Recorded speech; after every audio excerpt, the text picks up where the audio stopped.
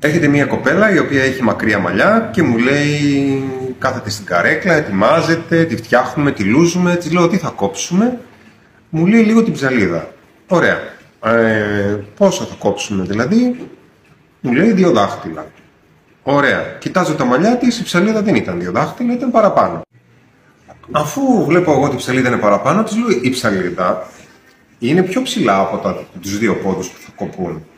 Μου λέει δεν πειράζει, εγώ τώρα θέλω μόνο δύο πόντους να κόψουμε. Λέω εντάξει, απλά η ψαλίδα θα συνεχίσει να υπάρχει.